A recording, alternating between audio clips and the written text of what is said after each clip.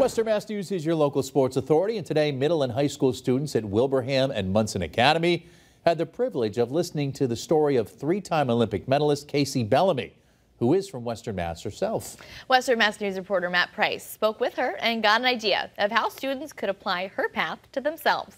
You have to take time to reflect. A one of a kind day for hundreds of students and staff at Wilbraham and Monson Academy.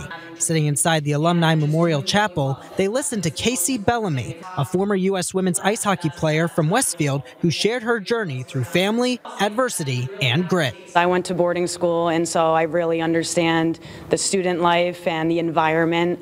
But if I could just, you know, give them one piece of advice that they took away that was positive, I did my job. Throughout her presentation, Bellamy discussed how she went from getting two silver medals with Team USA in 2010 and 2014 to achieving her ultimate goal in 2018, winning gold. The 36 year old also brought up key quotes she applied in her life the students could take away, including how they should take failure as an opportunity to grow. It doesn't matter if you play a sport or you're in the real world or, you know, taking art. It doesn't matter. I think self discipline and work ethic and having a good attitude you can do that whenever and you have full control over it.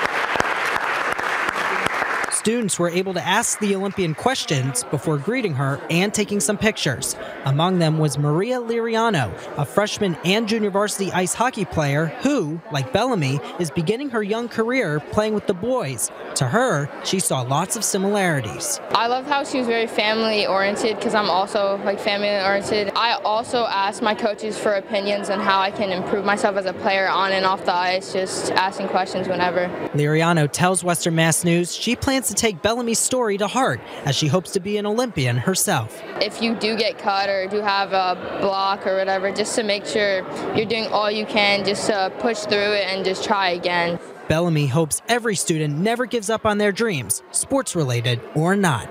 There may be times where you feel like you want to quit and that you don't have a lot of support in your corner, but if you're pursuing something that you love, it sh nothing should hold you back from that. Bellamy plans to go to other Western Mass schools in the near future so she can share her story for others to be on a path to success. In Wilbraham, Matt Price, Western Mass News.